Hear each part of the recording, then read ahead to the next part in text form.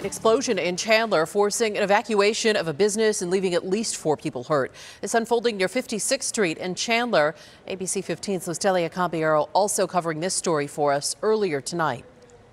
This is the first time like anything like this has happened here. Leonard Pasqualoni works across the street from where the explosion happened Monday. The explosion was that violent um, and loud that we actually thought it was on our facility when we heard it. That's how powerful it was coming from inside this enzyme process building where we're told vitamins and supplements are made. We felt the building shake. I thought a vehicle hit the side of our building. And when Pasqualoni went outside to see what was going on, he saw people running out of the building across the street. They looked panicked. They were running out, but there were some people there that were, you can tell they were taking control of the situation. Around 100 firefighters from different agencies rushed to the scene. It initially started as an offensive fire, which we were had firefighters inside uh, working towards uh, containment of the fire. Then firefighters realized they were dealing with a hazmat situation. And then it went defensive to a defensive fire, so we worked the fire from the outside. Battalion Chief Carlos Vargas with Chandler Fire says firefighters worked quickly to put the flames out. Part of the roof of the building had collapsed. No other structures were damaged, and at least four people were hurt, three of them taken to the hospital.